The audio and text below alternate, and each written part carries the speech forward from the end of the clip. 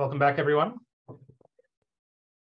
Uh, I'm Brendan Gogarty, a member of the Castan Centre for Human Rights Law uh, and an academic with the Faculty of Law at Monash University.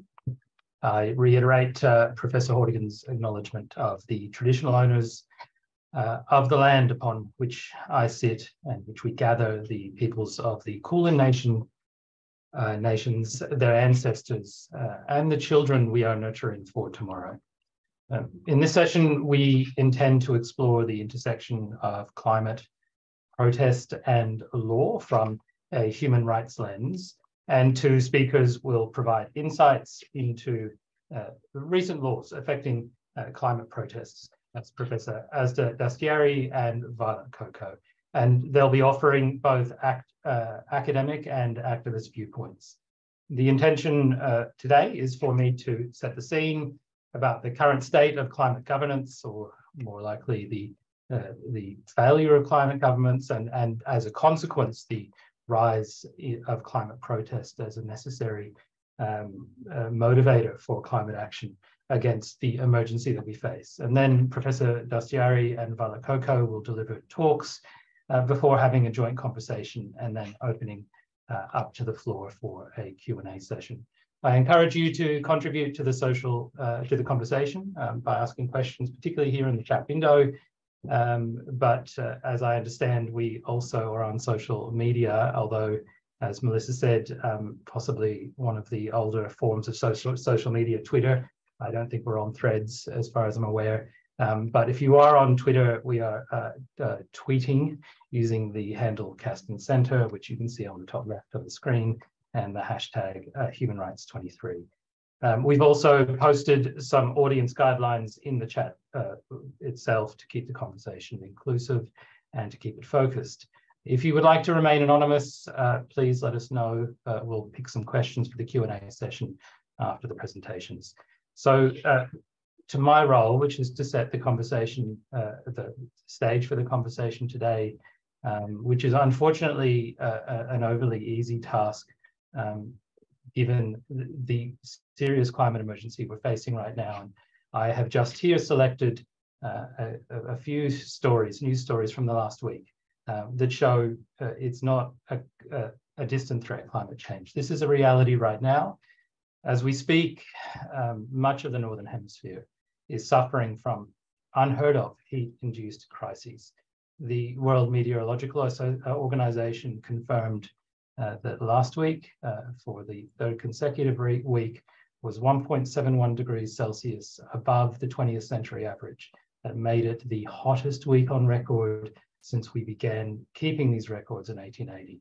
And the WMO warned that, I quote, these will create devastating impacts on the ecosystem and the environment, and these uncharted temperatures risk uh, devastation to the human communities that live at one with our natural world uh, and especially the vulnerable communities that are part of that natural world and vulnerable communities that don't have the capacity or the resources to buy themselves or build themselves out of the emergency. So this is a, a real human rights crisis. Uh, and as the UN Special Rapporteur on the adverse effects of uh, the environment on the enjoyment of human rights reported in 2021, climate change is and will increasingly be a threat multiplier that is exacerbating every single one of our existing human rights and it will create more and more human rights violations from right to life to health and food to our rights to water to sanitation to housing to development no aspect of our lives will remain un untouched by this existential crisis. The thing is we have understood this and these risks for many many decades uh, and uh, the first intergovernmental uh, panel on climate change reported in 1990 uh, that we needed uh, immediate reductions in emissions from human activities uh, of over 60%, that number being very important uh, because of what's just been reported by the International Energy Agency. But in 1990, over three decades ago, when, as Melissa was saying, we were also grappling with uh, in, indigenous rights in cases like Mabo um, the, uh, the IPCC said we need to stabilize concentrations uh, uh, by uh, reducing emissions by 60%. And, and those warnings um, and broader warnings from the scientific community um, uh, led to a, a, really rapid negotiation of uh, an international convention, the 1992 UN Framework Convention on Climate Change. And that was seen as a real shift in global governance. So it promised so much. And if you look at the, the UNFCCC, it promises from its outset to uh, prevent dangerous anthropocentric interference with the climate system, 1990. 198 countries ratified that convention. Uh, and we've had 30 years of, of work together with those 198 countries. But so far, uh, that apparent consensus has failed to translate into actual global action. And uh, in fact, since 1992, emissions have not gone down by that 60% recommended by the IPCC in 1990, but they have increased according to the International Energy Agency by 62%. So not decreased by 60% as we agreed we were going to do, but increased by 62%. Australia plays a significant role in this narrative of failure and inaction. Uh, the politics of this country are uh, unfortunately steeped in a history of undermining uh, international climate negotiations, making promises but then under-delivering, and we know that around the Kyoto Protocol and in other provisions. Domestically, Australia's climate target is not aligned with our uh, international target of keeping global warming under 1.5 or 2%. Despite the recent national law reforms that you may have heard of and promises made under the global framework, uh, a range of fossil fuel projects and subsidies have been proposed or, or provided permits, and these will actually increase Australia's net uh, uh, emissions of 1.4 billion tonnes of CO2 equivalent by 2030, which means that we will increase our carbon output, not reduce it despite our Paris promises. So that's where we stand. We stand with a, a huge amount of knowledge, an addiction to carbon, uh, a lack of effectiveness in our governance system in, in dealing with the existential crisis that we face. And in the face of this governmental and institutional failure, non-governmental actors and activists worldwide have had to resort to taking action into their own hands. Climate protests have become more vocal, they've become more widespread, symbolizing a distrust with conventional governance systems, with traditional law, in its ability to deal with the problem in any meaningful way. And this collective action against climate inaction is not just about climate change, it's about our human rights, our future, our children's future, the future of the planet, and all the generations that come uh, and will live in it, in it, hopefully, into that future. Concerningly, though, lawmakers haven't reacted in the way that you might hope. They haven't turned their attention to reforming the law based on this dissatisfaction, reforming the law to improve its efficiency or its ability to reduce the risks of climate change. Rather, law reform has often been directed in Australia in particular to reducing the perceived risks from the protesters themselves. That's where the attention has gone. And a raft of laws have been passed in Australia over the last decade, seeking uh, to discourage, to dissuade protest actions through expansive police powers, through aggravated penalties and harsh sentences to create a chilling effect on those who might speak out against the ineffectiveness of our domestic and global governance systems. So to speak speaker from this session, that's Professor uh, Azadeh Dastyari, and, and uh, as is the founding director of the Network for Law and Human Rights and a professor of uh, law in the School of Law at the University of Western Sydney, but she has a long connection with the Castan Centre. She was deputy director for the Castan Centre from 2007 to 2019, a very significant tenure as his passion for protecting uh, um, protest, though, is personal, uh, as tells me she was born uh, in the Iranian Revolution to activists.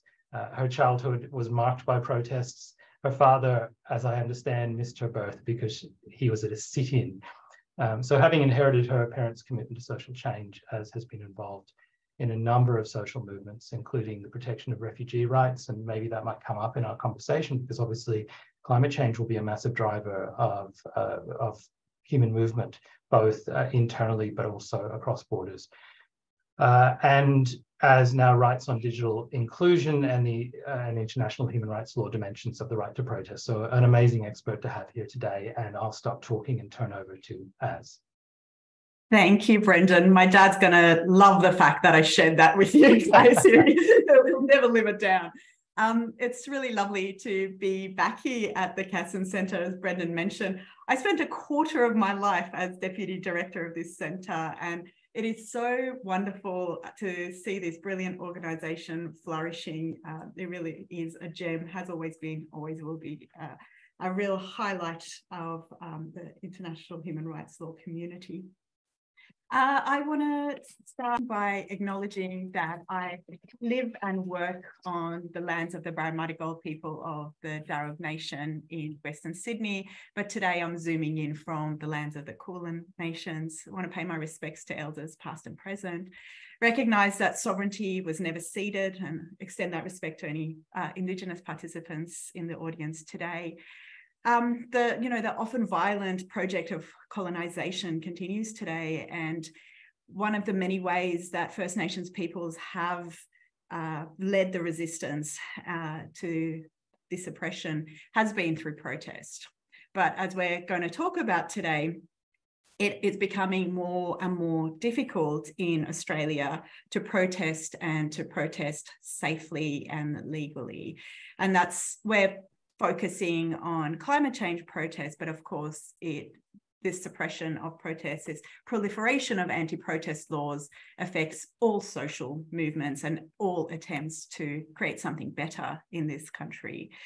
Uh, the move to suppress protests is absolutely not new. We all know that there have been attempts to suppress protests for many years from from from the beginning of uh, this colony. Um, but what we've seen, frighteningly, is a real proliferation of anti-protest laws and anti-protest laws that have successfully gone through parliaments as well in the last four years, mostly as a response to uh, protesters who are trying to draw attention to imminent climate catastrophe that Brendan was talking about. Um, and the international community is noticing. So the tweet that I have on stage is from the UN Special Rapporteur on the uh, for freedom of association and expression, who expressed his alarm at the arrest and prison term given to my wonderful uh, co-panelist today, Violet Coco, for her uh, arrest and uh, initial uh, imprisonment for peacefully protesting.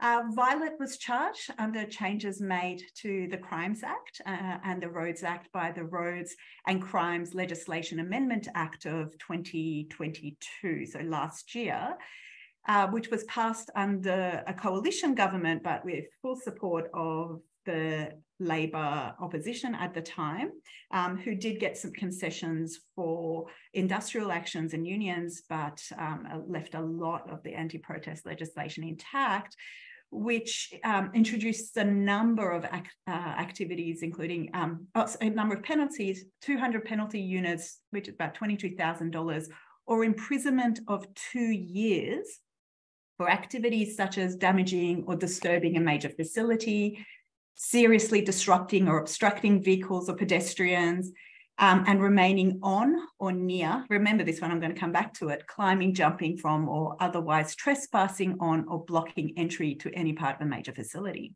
And then they pass regulation, which define major facility very, very uh, broadly. The law does other things, but they were the ones I wanted to highlight for you. Uh, whilst this piece of legislation um, got international attention, it's not the only one to have raised international eyebrows. In December 2019, four United Nations mandate holders wrote to the Australian government with serious concerns about a Queensland piece of legislation, this one, the Summary Offences and Other Legislation Amendment Act, which created new criminal offences, expanded police powers to search and seize, and intensified penalties for assemblies that use certain attachment devices. Here in Victoria, um, you're not going to be left behind. Uh, Victoria passed the Sustainable Forest Timber Amendment Timber Harvesting Safety Zones Act uh, last year as well in 2022, which imposes harsh and really disproportionate penalties against protesters who act to prevent native forest logging in Victoria in uh, what they call timber and harvesting safety zones.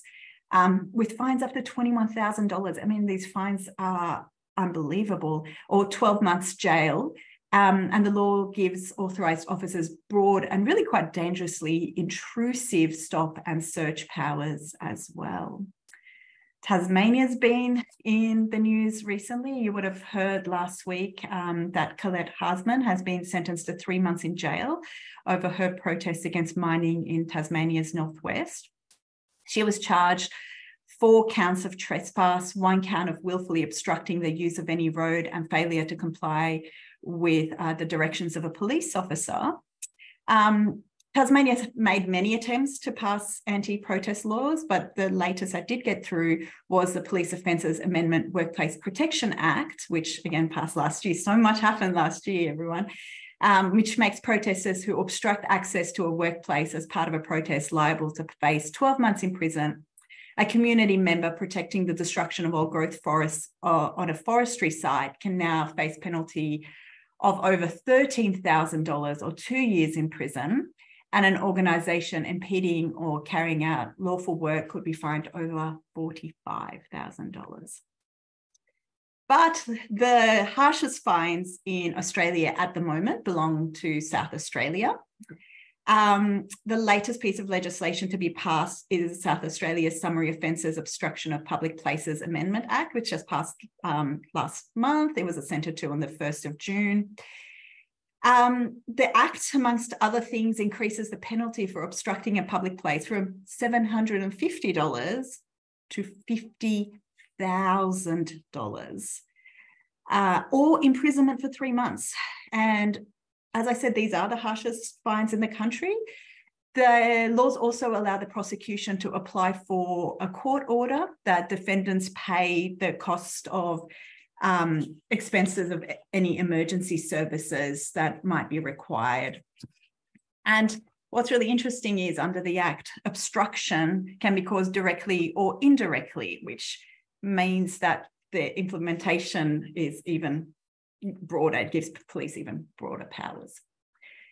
It's really concerning stuff for so many different reasons, but I'm an international human rights lawyer, so I want to talk to you a little bit about why this is particularly concerning when we look at it through the lens of international human rights law.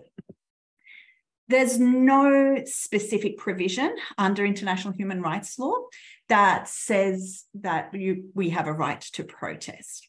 So here, when I'm talking about protest, I'm talking about public um, acts of dissent, you know, things like my dad sit doing a sitting or um, assemblies, demonstrations, those kinds of things is what I'm particularly concerned about today.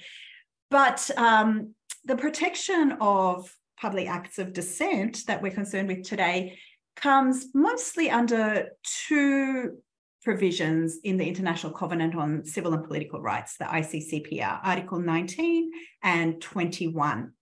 And I'll take you through both of those uh, in a little bit more detail. So Article 19 is a protection of the freedom of political uh, uh, uh, freedom of expression.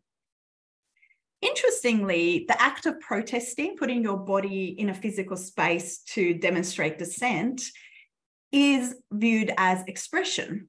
So, any attempts to stop you from expressing your views is a violation of Article 19. But that right under Article 19 is not absolute. So when we read Article 19 of the ICCPR, we have to see it in the context of also Article 20 of the ICCPR, which states that any advocacy of national, racial, or religious hatred that constitutes incitement to discrimination, hostility, or violence is not only not protected, but states have an obligation to criminalize such behavior. So, you know, Nazis that claim that they have freedom of expression and uh, the attempts to stop them protesting goes against their human right are, are wrong um, because you, they can't claim that international uh, law protects their desire to spout hate through protest. The other really important provision we need to know about is Article 21, um, which protects freedom of peaceful assembly. So the right for us to assemble together, to gather together in groups. But this right is not absolute either. For assembly to be protected under international human rights law, it needs to be peaceful. And I'll explain to you in a second what that actually means. And states do have a right to limit protest if they believe that limiting that assembly is necessary in a democratic society. And the fact that they've put a democratic society in there is critical because there's a recognition that assembly and protest is important for a democracy. But if states believe that it is necessary in a democratic society to suppress protest because of national security or public safety or public order or the protection of public health and morals, or the protection of the rights and freedom of others, they are able to do that. But again, the Human Rights Committee has expressed again and again this idea that the right to protest is critical. And if states are going to limit protests, this has to be balanced against the importance of the right to protest. I'm not going to take you through all of these permissible limitations. There's just a couple I want to focus on. Um, peaceful protest is a really important one. And what I want you to really understand is that just because a protest is inconvenient, and many protests are inconvenient, that's why they're effective, doesn't mean it's not peaceful. There's a really high threshold for what makes a, um, a protest not peaceful. Uh, and the Human Rights Committee has said if a protest is likely to result in injury or death, then it's not peaceful. And a protest is assumed to be peaceful, and any state wanting to limit protests really has to uh, have credible evidence that there is going to be violence. The other really important thing is that having one or two people in a protest act in a way that is not considered peaceful doesn't make the p- protest itself uh, not peaceful and therefore not earn the right to be protected. If they could do that, then agent provocateurs could be used by states to kind of instigate violence and then say, hey, the protest is, is violent, therefore we have to suppress it. Now, of course, this happens. We know this happens all the time, all over the world. But it is not something that international law permits. So the presence of a few violent actors doesn't make the protest violent. Uh, it remains peaceful.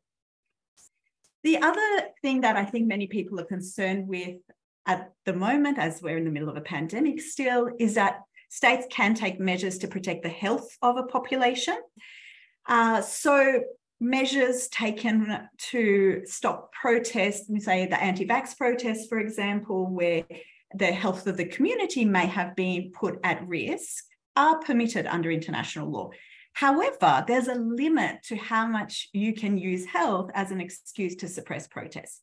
So, if you have protesters in cars, for example, in a pandemic who have no way of infecting other people and are doing it safely, then the state doesn't have a right to suppress their protest. So uh, the suppression of protest can only go as far as needed to keep people safe.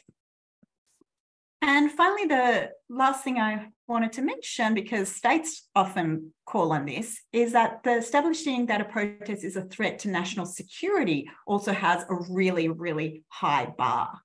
To say that something is a threat to national security, states have to establish that um, it will affect the functioning of society. And not many protest actions are going to have an effect on the functioning of society. You know, as an aside, probably catastrophic climate change is going to have an effect on the functioning of society, but it's unlikely that protest um, actions that we're used to seeing in Australia will have that effect.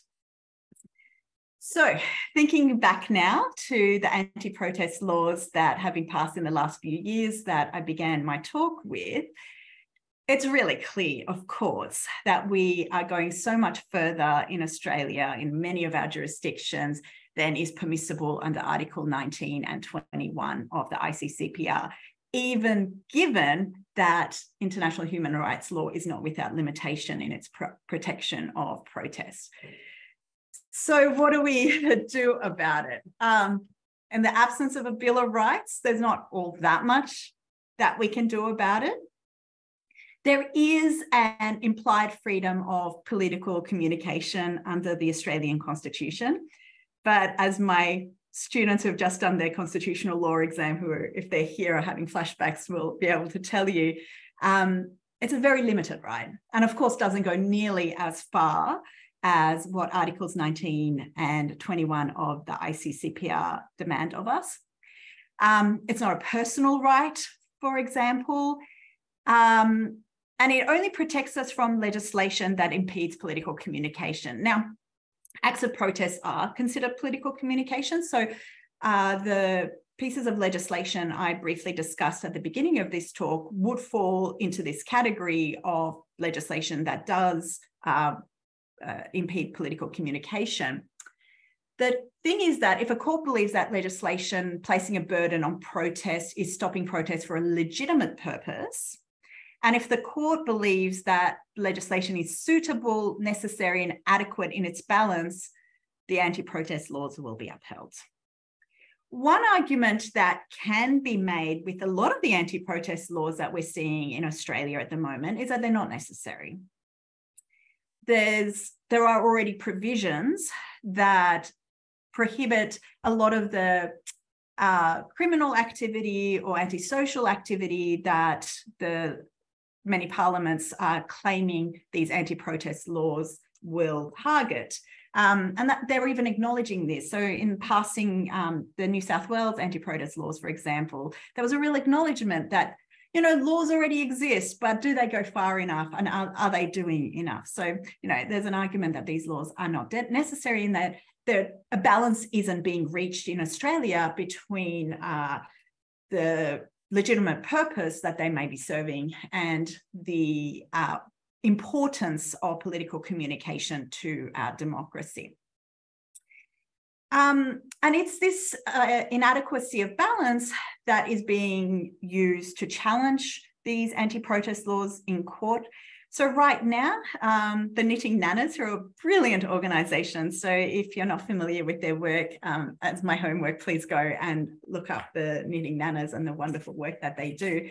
Um, but Knitting Nanas, Helen Kvelde and Dominique Jacobs are at present challenging the New South Wales anti-protest laws. Um, in addition to saying that the laws are not adequate in their balance, they're also arguing that the part of the legislation that says that a person must not enter, remain, or be near a major facility is super vague. I mean, what does it mean? Would a teenager holding um, a climate change protest sign next to a train station um, fall foul of these laws and be liable to pay $22,000? Probably at the moment as the, the law stands. So um, it'll be really interesting to see how they go in the challenge. And I would suspect that there'll be many more challenges to these anti protest laws as we continue. Um, but it wouldn't be a human rights talk if I didn't end by calling for the need for a Bill of Rights. Um, it would make it so much easier to challenge these anti protest laws if we had a Bill of Rights. We need to be really, really worried about the proliferation of anti protest laws across our country. Uh, protest is as democratic as they come. You don't have to own a newspaper, you don't have to own a social media site, you don't have to own a coal mine in order to have your opinions heard. If you have a body that you can put in physical space, you have a platform. And we know protest is effective because so many of the things we hold sacred in our democracy, rights of women, uh, labor rights, so many rights have been won through protest. And at a time, as Brendan mentioned, that we're, you know, really need to act urgently to mitigate this imminent climate disaster that we're facing, it's not the protesters that we need to be locking up. That's it for me. Thank you. Thank you so much, Azadeh. Um, uh, I, the very telling talk, um, and I think everyone will be uh, quite surprised at just the degree of of penalties that are being imposed across the country. That this threat, um, which uh, we might have a chance to reflect on later, and, and I'll, I'll, move to Violet next. But um, we don't need to go, we'll have this conversation, but one of the challenges I think has been the High Court's willing to apply the implied freedom that you speak about to the, the, the elements of a crime uh, and say, well, the law itself is not necessary. But once the court has determined the, the law is constitutionally valid, it tends not to or has refused to look at the degree of penalties because it says that penalties are a question for the legislature. Once the legislature has validly created a law, we're not going to determine what is an appropriate penalty. But that's created a, a, a, a real distortion in our criminal laws where now that area where the court won't touch has become used as a way to scare people. And uh, I, I, expect most people watching this reflecting on a $50,000 penalty, if we go out into public and protest, would say, I'm not going to take that risk.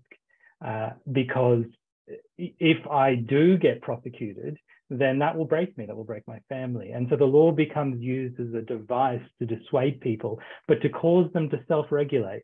Yeah? So the law may not even be applied to be effective from the government's position. And so that that that sort of um, real dissonance between the court's position on penalties and their actual use to create disproportionate uh, laws is a is is a is of real concern.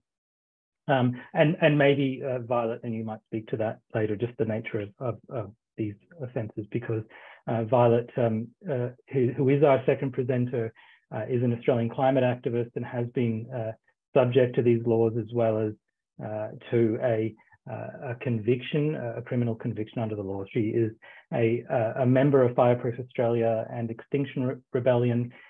Violet was briefly jailed on remand for, as uh, was mentioned earlier, blocking the Sydney Harbour Bridge in, in 2022, which uh, went to international news uh, sources and was, was publicised around the world, much to Australia's shame. Uh, but we did uh, successfully appeal her 15-month uh, jail conviction in March 2023 after the judge found that her conviction was based on false information uh, from the police uh, about an ambulance uh, being blocked during, during her protest and, and Violet may speak to that. So please welcome Violet uh, to explain the, the nature of these laws on the ground from the, uh, I was going to say the cold face, but probably an appropriate term. Thanks, Brendan, and thank you as um, very much for your presentation. I, I very much appreciate what you had to say both about our right to protest and the need for it at this time. And uh, before I get into the nuts and bolts of what I have to say, I do want to acknowledge that I'm on Turrbal and Yagara, Yagara country here at the moment. And um, I pay my respects to elders past and present and acknowledge that the fight that we are in to protect this country is one that has been going on since colonization. And we are joining this fight and, and this government that is repressing environmental protesters has been imprisoning and murdering First Nations people for, for much the same plight of, as protecting country and, and their country at that. So I just want to acknowledge that sovereignty was never ceded and that First Nations people um, need our support in uh, protecting their culture and, and acknowledging that um, the youth are carrying this torch of, of culture after a genocide that occurred in this country. And um, and uh, yeah, I guess from my perspective and my story, I just I wanted to let you all know that I definitely didn't expect this to be my trajectory. Um, if you'd asked me six years ago what I would be doing, probably the last thing I would have said is a climate activist facing prison. Um, but uh, you know, I um, I knew a little bit about climate change, but and that's you know I didn't I didn't think that it was my problem. I didn't think it was my responsibility. Um, that was somebody else's problem. You know, I wasn't a scientist. I'm not a politician. Um, but as new information came to me about the urgency of the issue and the way that protest works to change a society, I was convinced that I had to leave behind what I thought was going to be my life and, and begin this journey of protecting our life support systems. And I hope that many of you will also join us in that struggle. Um, basically, uh, you know, the climate movement hasn't been in this position of um, people being imprisoned. We've been asking a little bit nicer uh, throughout the movement of us knowing for a very long time now that that this is uh, our life support systems are at threat. And um, you know, as part of that asking nicely, I just want you all to know that we have done all the petitions. We've we've um, the second largest petition in Australia is to declare a climate and ecological emergency, and that was ignored. Um, we've done one day marches. You might remember the school strike marches. Um, which were just massive, and that was ignored. And so uh, you know the tactics that we're using are escalating and and that is causing this these changes in these laws but it is absolutely necessary that we keep going um, you have people like Professor Hans Schellnhuber who says that we are in the end game and that pretty soon we have to choose between taking unprecedented action or accepting it is too late and bear the consequences. And so, what is it what does unprecedented action in your life look like? And um, you know, we have Australia's most eminent climate scientist, Professor Will Steffen, um, who recently passed away, but as his final quote to us, he says that on our current trajectory, we are headed for the collapse of our globalized civilization and a precipitous drop in human population, um, which will lead to hell on earth conditions. So, um, we're sort of done being polite and um, and we have to be strategic and we have to le- leverage power. And and there is a beautiful history of civil resistance and protest being at the forefront of social change. As martin luther king jr said you know we have a moral responsibility to disobey unjust laws. And and we are being utterly failed. A government is there to serve its people. And one would say that the exact antithesis of serving its people is murdering them. Um, and so I would say that this system is unjust and therefore it, it, it's validating us disrupting. Um, you know, people sort of not sure why we block roads. Well, it, it's to disrupt business as usual. Uh, we have to leverage power and disrupt the broadcast of this prescribed narrative that everything is okay and and we have to sound the alarm and and act in proportion to the threat. And all of you have to act in proportion to this threat which is massive. We need to be panicking. Um, we need to be more annoying. And the fact that these laws are changing is actually a sign that we are succeeding in being more annoying as as and as you know challenging as that uh, is for us to face.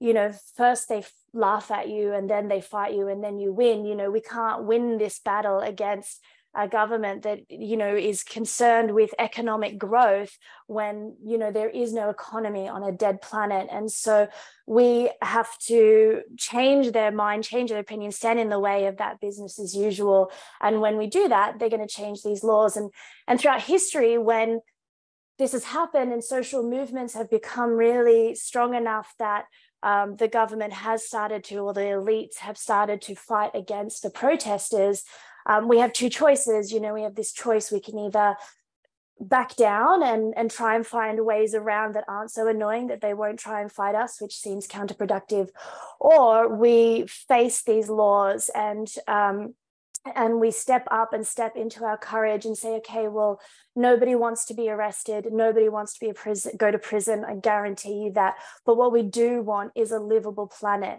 And um, and so yeah we have to expose their violence in that way. And and and this is actually how this system works. It's called the backfire effect. So for some reason um, humans uh, care more about our rights and freedoms to protest than they do about our livable planet, as like why we're here talking about our human right to protest and justice and freedom, um, which seems crazy to me, but um, that's okay. I'll work with that anyway and be here with you in this. Um, so, so basically, when we are repressed by the state, that is what mobilizes people to come to our defense because we do care about justice, we care about our freedoms.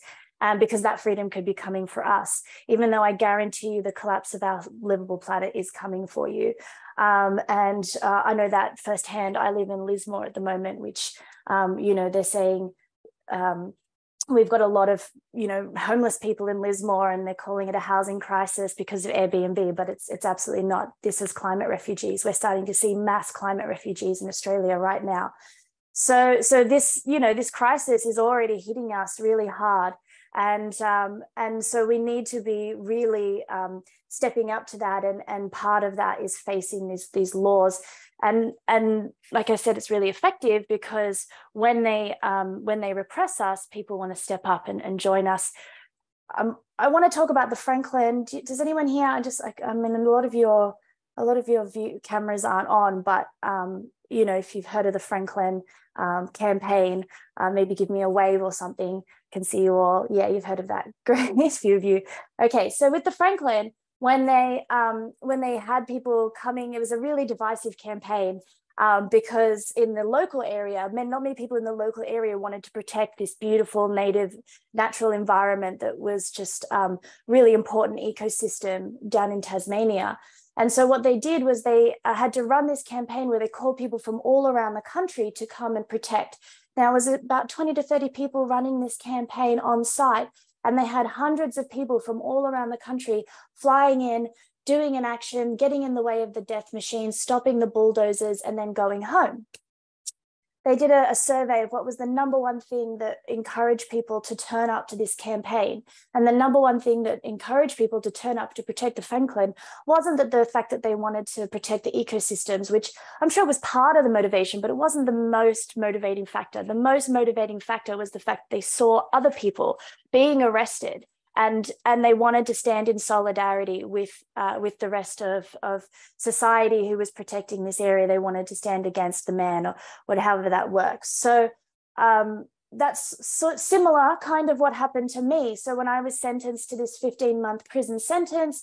Um, for blocking the harbour bridge. Um, at the time, the Downing courts were incredibly, um, they were in, being incredibly rep- uh, repressive to all the uh, protesters um, the day before my action or two days before my action, someone was put in prison for three months for for running onto an NRL football pitch during a game. That's how it, it was crazy. It was that like so disproportionate. And then when they put me in prison, there was these mass uprisings all around the country. There was protests in every single state of the country. There was mass petitions, and it shamed the courts into being more reasonable. And so um, now, since then, uh, the police have tried this to charge more protesters in New South Wales with the 144 charge that um, I was sent to prison for, and and the courts have completely backed down because of the the backlash that they received from the repression. So everybody who sort of contributed to that campaign about, uh, even though the law is still there, um, everybody who contributed to that campaign to get me out of prison also protected every single protester afterwards from being um, having the same fate because there was that massive backlash.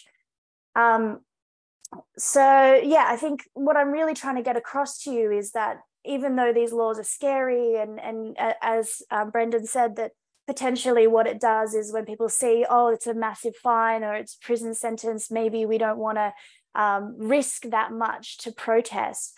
Uh, the most powerful thing you can do is risk that much to protest because when we face these laws and we allow expose ourselves to the violence of the system um, that encourages people to come and stand and link arms with us. And um, and you won't be alone. I was never alone. Um, and so yeah i think i'll just leave you with a final comment and then we're going to talk go into some questions. But um, you know I've said it a few times, but literally the life support systems of our planet are at stake, and um, and so we d- we don't want to go to prison, we don't want to get arrested, but the most important thing you can do is is step up and and and face those repressive laws, and and when people do get hit with those repressive laws, is to make a massive outcry about about it and demand that um, we have the right to protest, but also that we have the right to have a livable planet, and that they have to stop killing our planet. Um, and so, what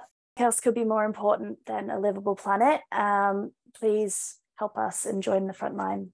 that's my statement to you all. There you go. Thank you, Coco. That was incredibly powerful, of course. Um, and uh, just such a, a, telling testament to your willingness to, to break and push the system's limits. And, and I think um, also to show, as you said, that the system is reacting uh, because it is working. And we forget uh, as lawyers, as par parliamentarians, that our entire democratic system is based on that overreaction. So the English Civil War, which led to democracy, modern democracy, was based on the king dragging parliamentarians out of parliament and putting them onto the cold stone floors of the Tower of London, which is where we get the idea of chilling effect on free speech, because you were left on a, on a cold floor to think on the sin of speaking out against authority. And that led to the Civil War, which involved the overthrow of the king and the establishment of the modern constitutional order that is now turning on you. And so, you know, this, this sort of cycle is being perpetuated from within an apparent democratic institution. Um, but so powerful and and and so uh, such a motivating uh, a talk. I wonder if um, both you and Az might have a chance to ask each other questions before we move into a Q&A because you come from different perspectives and you can speak to each other's experiences and expertise. Uh, so uh, Az, do you have any questions uh, that you might ask Violet or vice versa. And then in about 10 minutes, we'll move over to the audience. Uh, yeah, definitely. Um, as an academic, I'm always really interested to see how these laws that we're studying, you know, on the books are actually playing out in real life. And Violet, you've been on the front lines for a while. Um, be really interested to hear a little bit more about how the police uh, in your experience and in the experience of communities you work with, are um, suppressing protests at the moment? Yeah, thanks, Az. So um, at the moment, there's obviously three power players that are trying to pr- suppress protest. Um, there's the political class, so there's the ones like creating these laws. And then there's the judiciary, which are enforcing the laws through the courts. And then there's the actual police who are who are on the ground, and that's the ones that I, as a street protester, engage with the most. Um, what's most concerning about the way that the police are responding to the political class changing the law is that they are becoming more punitive even before it reaches the judiciary. So uh, they come in, um, they overcharge protesters. So, for example, my protest on the Harbour Bridge, I had a smoke emitter, which is like an emergency smoke beacon. Um, they charged me with having an explosive device for having a smoke emitter and and and all these extra charges um, if we go floppy they'll charge us with resisting arrest which is the opposite of resisting is just uh, is relaxing your body and that's what we do. And so they're, they're char- overcharging us and what that allows them to do is to give us really repressive bail conditions. And um, so, for example, before I even hit Silverwater Prison after my sentencing, before that, I spent almost an entire year on bail, where um, for a majority of that time, I was on house arrest. And so, my home became my prison for an entire year. Um, just a caveat also, that was my um, 27th arrest, that Harbour Bridge protest. So you generally don't start with that kind of level of repression, but peaceful protest should, should never be criminalized in that way. Um, and so, uh, yeah, um, so they're using these punitive bail conditions to really repress us, and um, and that is. Uh, and then often like a lot of protesters when they get to the courts the de- the morning of the courts the protester will walk in and think oh i'm I'm about to um, face potentially 12 years in prison, for example, and then the police will just drop all of the charges an hour before you go in to see the magistrate, and all you're left is with a fine only offense. And so, you know, there's all of this stress, this worry, the cost of hiring a lawyer, all of this stuff that we don't have. I mean, I, you know, four years on activist frontline, I haven't been paid as an activist. You know, it's, it's not a job that gets a lot of money. So to pay for a lawyer, which is another thing I maybe want to say for all of you are lawyers, like we really, or like studying law, we really, really need more support, legal support on the front line um, for that reason that the police are being quite punitive. Um, good question, Az. I, I have uh, one for you, actually. Could I, could I ask you a question? Yeah, yeah go ahead, sure. Um, I mean, how do you think so you know i'm a, as a protester i'm blocking the harbour bridge how do you think that the law should handle us I mean, as an international human rights lawyer, I think we should, at the very minimum, um, behave in a way that's in line with our international human rights law obligations. And that will also ensure that our, we have a healthier democracy. So we have um, our, our, politicians are really quick to uh, rightly condemn suppression of protests in other places. So when Iran started to kill its protesters and uh, really have repressive um, policies for protesters, Australian politicians of both sides rightly stood up and said, this is wrong. Now, we're not killing protesters in this country, but we do have bipartisan support for suppression of protests. And it's not just in coalition states that we're seeing these kinds of legislation passing. We're seeing uh, anti protest laws being passed in Labor states, and we're also seeing anti protest laws pass in coalition states with the support of Labor oppositions too. Um, and it's a really worrying thing because there's the way that it seems to get translated onto the on the ground is that certain protesters, people pro- protesting climate change, for example, are being treated differently on the ground than a lot of other protesters might be. So the way that anti-vax protesters, for example, were treated has been different to the way that some climate change protesters have been treated. Um, so we know that the political class understands the importance of protest. They keep talking about how important protest is. When passing every single one of these pieces of legislation that I mentioned, they all start by saying, protest is so important to democracy. and here are the way we're going to remove that right. Um, so we know they know. We know it's not rocket science, and we know that they are capable of creating safe spaces for protesters uh, what we need to see now is some of these uh, anti-protest laws hopefully get challenged successfully and get removed from the books so that there isn't that discretion there to silence many voices that as we mentioned have no other platform and if democracy is about having the voices of everyone heard when you're removing the right to protest, then it, it really is a massive challenge to, to the health of the democracy of this country. And I've I've heard that people give us, you know, like there's ratings on our democratic status in mm-hmm. comparison mm-hmm. to people around the world. And given the fact that we did just have Colette, Dr. Colette, um, put in prison for three months as a peaceful protester. Where do you think that that rates our democratic status? Uh, you know, in reality, I mean, we've got an idea of who we are, but in reality, where does that put us? Yeah, I think it's, I mean, I, I'm not qualified to rate us, but what I can absolutely say is that oppressive governments don't happen overnight. You know, these things happen slowly and when we start removing the right to protest, we're edging towards more and more oppressive and suppressive regimes. Uh, if you don't put an end to it, we're not immune. Um, a lot of places didn't start off with the repressive governments that they have today. It's always been a slow process of uh, often using the legal system to get to that place. So um, it's it's not uh, it's not there's nothing about Australia that makes us immune uh, to yeah. to oppression.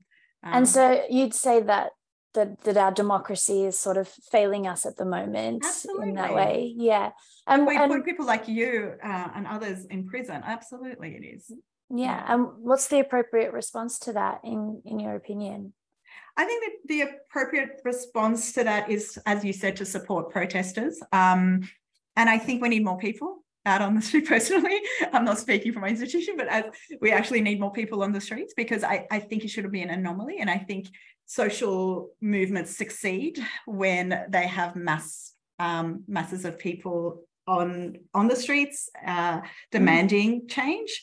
Um, and so we have to make it unacceptable for peaceful protesters to be placed in prison or fined the extraordinary fines that um, have been introduced recently.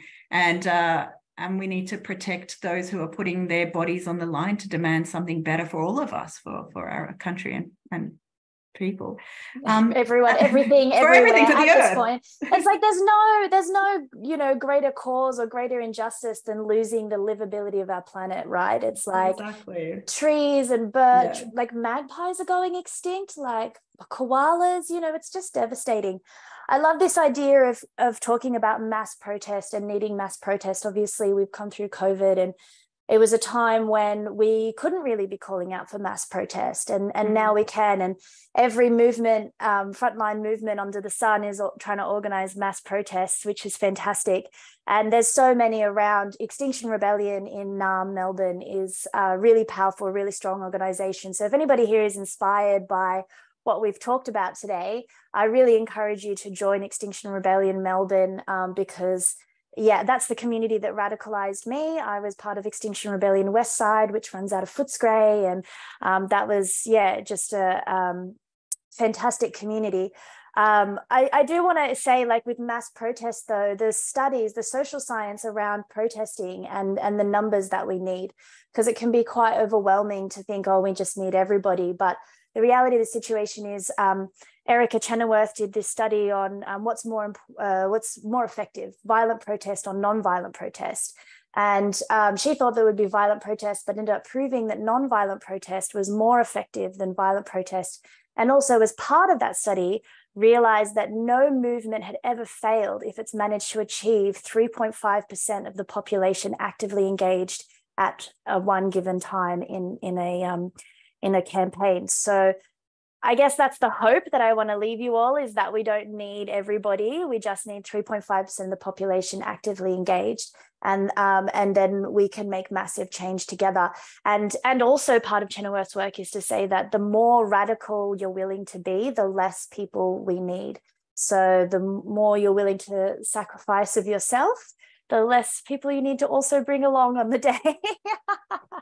I, am interested, Violet, to, to, hear you describe yourself as, as radical, um, given the, the nature of the threat and what you're doing, and, and that, that your protests have not actually been radical as we might think of it in the history of protests. Um, yeah. and, and, the concern about uh, what's happening across Australia in trying to cast climate protesters as extremists so as to justify the extreme nature of the response. Uh, and what Az spoke about was proportionality and the need for tailoring of the law. And by casting you as radical and extreme, then the law can somehow be justified. Are you concerned about that? I, I was I was really interested to hear you say I'm a radical because uh, that sort of falls into a, a certain narrative, maybe. Yeah, I, I, think it's a fine line. Obviously, um, if we talk about um, like comparatively to what everybody in Australia is doing right now. Uh, I've recently got called Australia's most infamous radical, climate radical, which I was like, that is crazy because if I'm the most radical person, then we're in real trouble. Um, because, yeah, obviously, proportionately to what we face, um, blocking a road for 20 minutes seems quite unradical. That seems very um, disproportionate even. Uh, I'm reading a book called How to Blow Up a Pipeline, which is on the philosophy of property damage and protest, which is another more interesting conversation we can get into on another day. But um, uh, yeah, I think, you know, uh, it is it's it is about proportionality. We are in radical times and radical action is necessary. And I don't want to normalize what we're doing. You know, blocking a road, um, being arrested, going to prison isn't normal. It's not the things that I would be doing under normal circumstances. We are in a radical time, and therefore it requires all of us to take radical action. Okay, it sort of takes the breath out of someone to hear that from another person. Um, but as uh, that that is sort of the problem here, right? In that you spoke about these international laws that talk about proportionality, but uh, but it's a proportionality between protecting the rights of protesters versus protecting everyone else's rights. But the entity that decides that is the government that's being challenged, and so you end up in this odd situation where the government is is almost using proportionality to justify its own disproportionality is there a way to make the law work better? Is your view that proportionality does work in its current context within within uh, within human rights law or, or, public law, or do we need to just say there is a, an absolute right to protest? I mean, there's no question that human rights protections in our country are lacking, um, not just in protecting protests, but in so many other areas. Uh, the implied freedom of political communication doesn't go nearly far enough to ensure the health of our democracy and to make sure that we're not passing legislation like this. Um, it we we absolutely need greater protections. Um, you're right. I mean, in the international arena, it's it's very hard to challenge human rights violations. Again, not just in this space, but in every other space. Um, we know that our governments violate human rights everywhere all the time and then claim sovereignty um, yeah. that the international uh, bodies don't have teeth that there's very little they can do to enforce um, their findings against a country like australia if, even if we go through the very lengthy very costly very time consuming process of making a complaints to the human rights um, committee uh, and and in some cases other bodies so um, th- there's no question that international law doesn't do enough um, and it's difficult to enforce. And there's no question that domestically we don't have enough protections. So a Bill of Rights, we need a Bill of Rights right. is my answer yeah. always. Like all lawyers, we keep coming back to, to that, that issue. Um, but, think, but, you know, in terms of radicalism, oh, sorry, I didn't mean to interrupt you, Violet. Please continue. Well, I just want to say that, you know, it's it's sort of almost too late to for that sort of talk now we have like maybe a year maybe two to like radically shift our society. As you said we're at 1.7 now. Between two degrees and three degrees of warming are tipping points that cascade us into an uninhabitable planet. And um, that is why they wanted to limit warming to 1.5 we're now at 1.7 and and we have stuff that's already locked into the system because warming doesn't happen as the gases hit the atmosphere so, you know, this this transition needed to happen yesterday. If we don't have mass resistance and social change within the next 12 months, we get a party like there's no tomorrow. We can get a Bill of Rights or not, it doesn't matter. Violet, can I ask you? Um, sometimes when we talk about protests, people say, "Oh, but people can go on social media. Um, you can always just, you know, tweet about it." Um, why do you take the action that you do? Why why isn't tweeting about it enough? Uh, I guess it comes back to proportionality that obviously, you know, uh, writing a tweet, and, and that's not to say I don't tweet. I, I do a variety of tactics. I've even signed a petition once. Um, but, uh, but you know, it's it's just one of those things where um, we need to get the message out and, and we need to disrupt um, the the current narrative like you can have the best messaging in the world but when you're just talking in your own little bubble on social media or you're just holding a sign politely on the side of the road you're not actually breaking through into people's day about the emergency that we're in. And and it is about displaying that emergency for yourself. It's about about being panicked about the fact and and and I think that tweeting in into a, my group of people who are following me is being panicked enough about the loss of our life support systems. Also, um, you know, we can get siloed off. Uh, they're already talking about um, stopping our live streams from being able to go live, um, which is really distressing because that's, you know, a, a, huge part of our platform is using social media to communicate about our disruption. But the suffragettes didn't need social media. And so I'm pretty confident we can do it without it anyway. Okay, so we have uh, a few audience questions. Um, uh, one which I I think we've sort of covered off in a little bit in your talk, as but so it might be one for Coco as well. But this idea that all, if we do this, should all views be protected? Should we give uh, equivalent to to all harmful views? Everyone has the right to get out there and protest about whatever they like, and it turns into anarchy.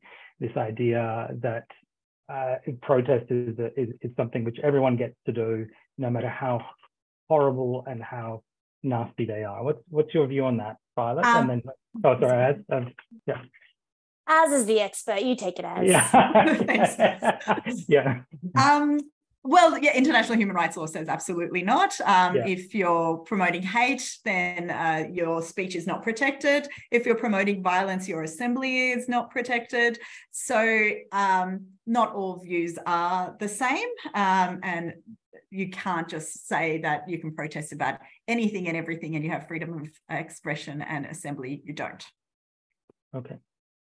Yeah, I just maybe will extend on that, saying that when we are looking to protest, it's not about just expressing our dissent, it's about being strategic as well. And so, um, just to extend on that, uh, you know, it's we're trying to affect change, and that change is um, about protecting people and as, as said not about um, vilifying people. And that that's a big difference. And that's a big part of the non-violence creed as well. Um, we try and avoid blaming and shaming and all that sort of stuff and stay as, as peaceful and loving as possible. Uh, when when martin luther king talks about non-violence and what non-violence is it's it's actually about being as open-hearted as possible in your disruption. So um, yeah, it's, it's, the complete antithesis of that hate speech. And you take a really, do. you take a quite a broad strategic view to the way it's not just just turning up on the Sydney Harbour Bridge one day and saying, "Oh, I might lie down here." It sounds like you have a, a, very articulated uh, strategy, uh, and yeah, so into account. Yeah, that that campaign that uh, where I ended up on the Harbour Bridge, we were actually it was in the lead up to the New South Wales election. Um, we were blocking roads once a week, every week for seven weeks leading up to that protest. So uh, we'd actually caught the roads minister and Dominic Perrottet in our uh, protests, as well as several of the magistrates that were um, judging us those days that we were in court. So it was, it, but it was all about affecting the, um, making sure that climate was the number one issue in the election by dominating the narrative by every week and and sometimes every day because they got to the point where the radio stations were like oh those environmental protesters they might be on your road today. And so every day they people heard that there was environmental protesters. They understood that people were stressed out were anxious. It wasn't fading into the background of of the political discourse at the time of the election. And as you know we got many teals and greens are elected in in that in New South Wales election. So yeah, it is it is really strategic, and and you know I wouldn't sacrifice my freedom for the whim of it. This this is yeah, you know yeah of course.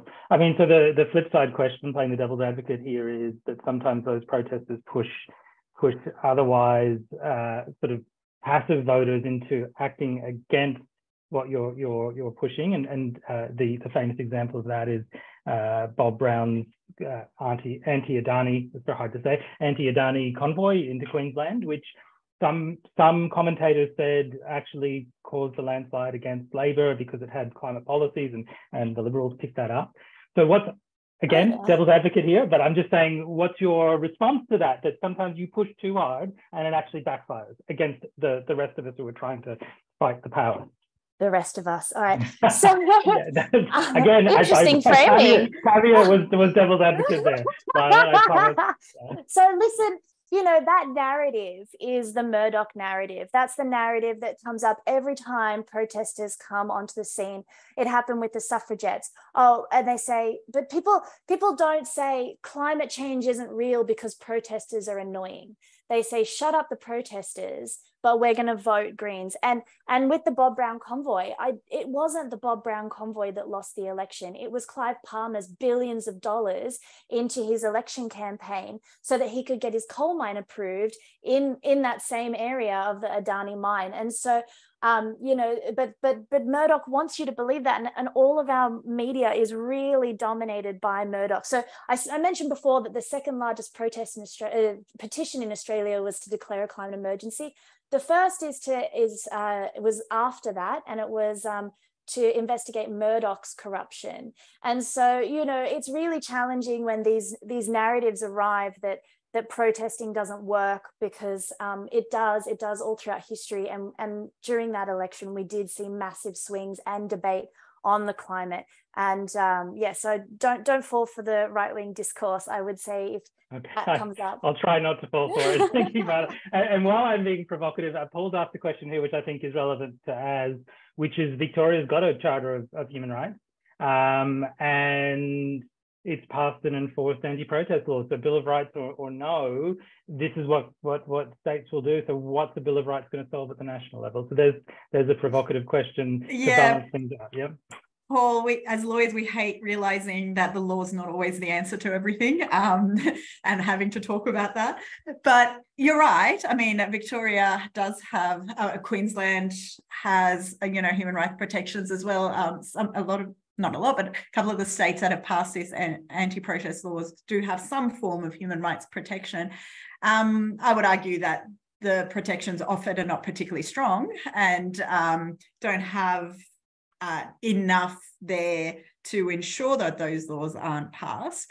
Um, but I think your question demands a, a, more a bigger answer of actually what what's actually needed is uh, a country that sees the importance of protests for its health and its democracy, um, are people that are willing to put up with inconvenience when they realize that that inconvenience affords them rights and a recognition that so many of the things that we enjoy today were won through protest. And so having to be stuck in uh, a lane of traffic um, because someone is highlighting the fact that the you know we're we're facing this climate disaster is not the end of the world. So yeah as a lawyer i want legal protections in there but as a citizen of this country and as a global citizen what i want most of all is a recognition that the planet is dying and we need to do something about it and not only to protect the people who are putting their bodies on the line to do something about it, but um, also ensuring that they're safe and uh, ensuring that they can continue drawing attention to what is happening as well. So we need political change, we need social change, and legal change is unfortunately only a very small piece of a much bigger holistic puzzle here of what we need to do to create something better. Thank you. Um, as uh, I, I, I know that there are more questions, uh, but we have run short on time, um, and so I, I think everyone is very grateful for such a compelling talk. It's hard to be excited about talks like this because they're so confronting, um, but I think it's incredibly enlightened from both of you and that experience that both of you have and that deep-seated expertise both on the ground and from uh, an international perspective is so welcome. Uh, so please, everyone, thank uh, uh, virtually thank our wonderful presenters. Um, and that unfortunately brings this session to a close.